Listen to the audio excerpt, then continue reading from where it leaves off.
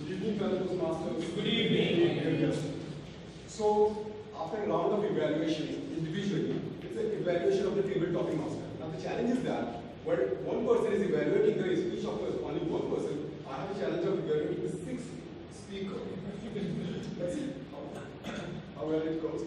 So, first of all, uh, I would like to congratulate uh, the table topic master of the day. He conducted the, the meeting. Uh, he conducted the table topic appropriate. And the theme of the day is uh, have fun. So he brought the props and it made the uh, job easy for all the speakers to relate their speech to the fun activity. Right. So straight away I'm going to the evaluation part. The first speaker was Ravi. Well, he narrated his hobby of collecting coins and uh, pills, which was pretty appropriate. And he was somehow relate, uh, able to relate uh, his speech with the topic. Those only recommendation to you is as you uh, you must have heard that uh, fillers is one of the points that we notice very much in Toastmasters meeting. So you use a lot of you knows. So just a recommendation that uh, try avoid this phrase. Second speaker was Justin. Well, he started his speech in a little humor way by directly showing that how the prop can be used in a different manner. And he uh, brought some creativity into it and nobody could that it can be used like the, for a podium. The only recommendations that uh, uh, your action was little more than your, your speech delivery. So you had two and a half minutes, so you could have spoke more. The third speaker was Vinay.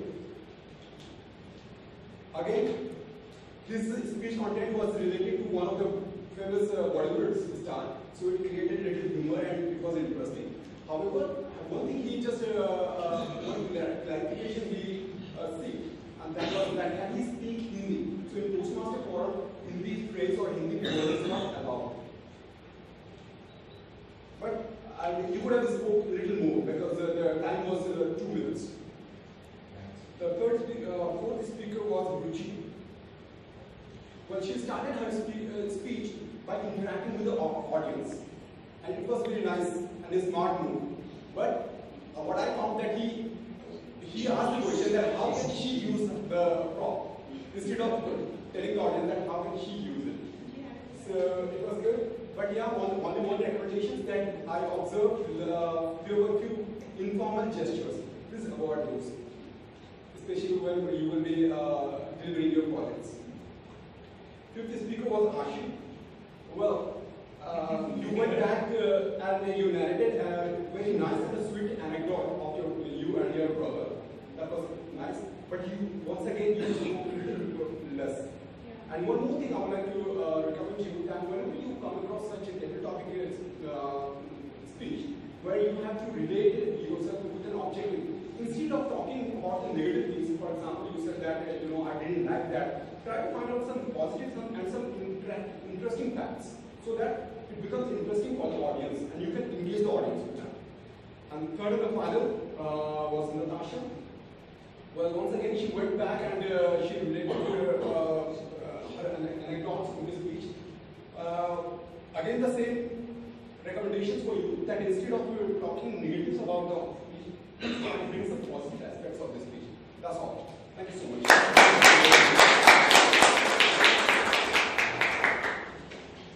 As we are already on the table topics evaluation, couple of recommendations for uh, evaluator. Let's avoid to use word however.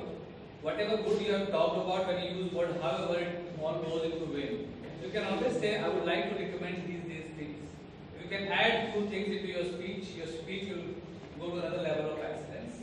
So however, but are not the right words to use when you are giving after commendation, recommendation after commendation.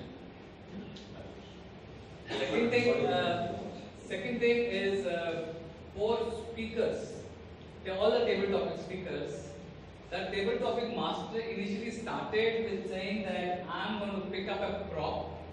You're going to speak on how you want to have fun with this prop. Whereas everybody talked on how you to use this prop in different ways. Why it happened? Because the first speaker spoke and everybody gone on the same track.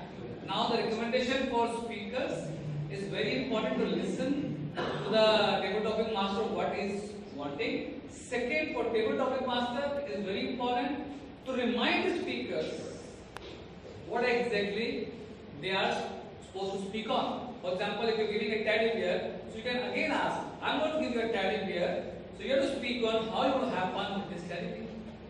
So what you're doing is you are reminding the speaker who's coming at the sixth turn how what exactly the topic is. So you have almost have seen that topic was something else and everybody spoke something else. We are approaching table topic contest very soon. So what that is the reason I am giving this recommendation. It's very important to listen to the topic very carefully and then create your story around it. Okay, so I would like to request uh, ballots for best evaluator. So four evaluators.